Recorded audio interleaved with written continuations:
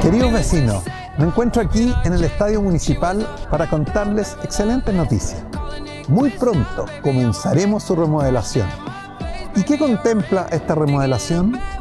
La reposición de la carpeta de pasto sintético, la ejecución de una pista atlética alrededor de la cancha y un foso para salto largo, un nuevo sistema de iluminación, el cual deberá ajustarse al estándar de la FIFA para la transmisión de partidos por televisión incorporando dos postes nuevos de iluminación LED, la renovación de los más de 2.000 asientos.